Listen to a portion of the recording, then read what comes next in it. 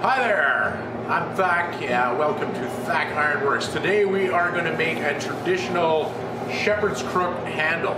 So I'm going to be using a piece of 3 8 square bar and uh, let's get started. Here we go. Okay, so first step is to draw out a taper on the bar. I want something about two inches long and I'm keeping it the same width so ending up with a ribbon like taper I guess you would call it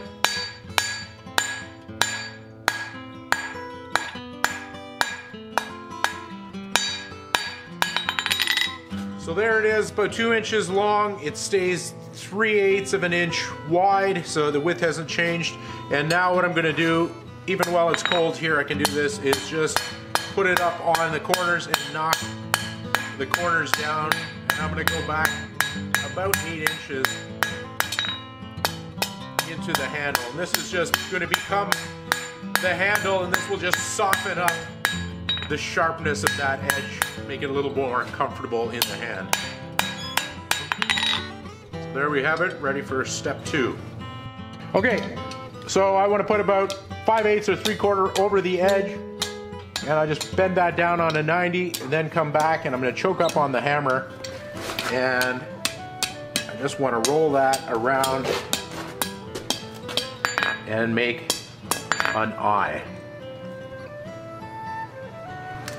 Okay, the key to this step is getting a consistent heat about seven inches long and it's got to be as even as you can make it.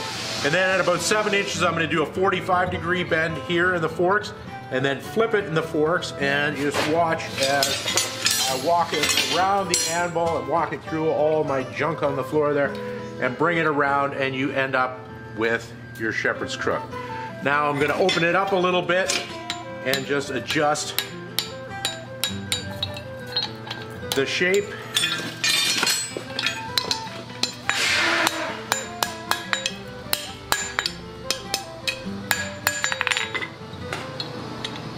Just adjust it in the forks like that until you get it centered and you're pleased with the aesthetics of the overall shape.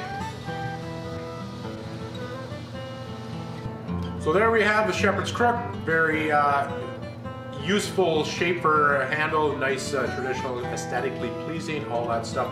So please subscribe, thumbs up, all that stuff. Join us again and our next exciting video We'll make something even more astonishing for you.